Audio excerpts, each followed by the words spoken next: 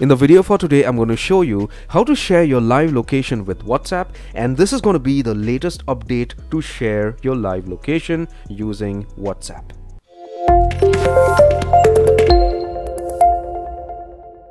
Welcome to channel Step Up. Hello my friend, my name is Kenneth Brown. Welcome to channel CygnaTech and how are we doing today? I hope fantastic. Well, if you're not, this is going to cheer you up because it's very simple and easy. So the first thing is I want you to get hold of your smartphone. Once you do that, click on WhatsApp and say supposing you want to share your live location to a specific person you click on that whatsapp chat then you click on this attachment icon you get a pop-up menu like this.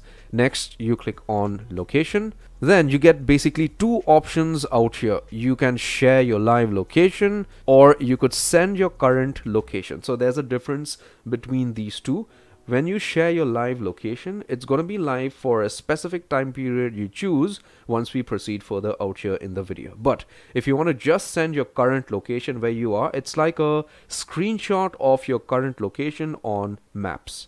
So if you want to just share your current location, you could click on this option and your current location gets shared with that specific chat. But if you want to share your live location, you need to click on this option. So you click on this option and then uh, you are going to see yourself out here on maps. Okay, so you could share your live location for the next 15 minutes or one hour or eight hours or whatever it is. You could put in a comment like find me here and share your live location and share your live location until 9:36 p.m. which is for the next 1 hour.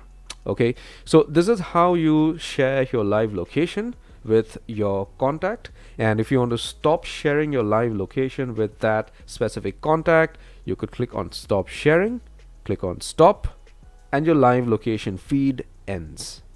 And be very much sure you want to do this because this gives access to your specific place okay to a person. So i'm sure if your friend wants to come to your place you share your live location he or she is coming by bike or car you know they get to your location. This is going to be very easy. Or if you want to keep track of your family members this is also a fantastic option.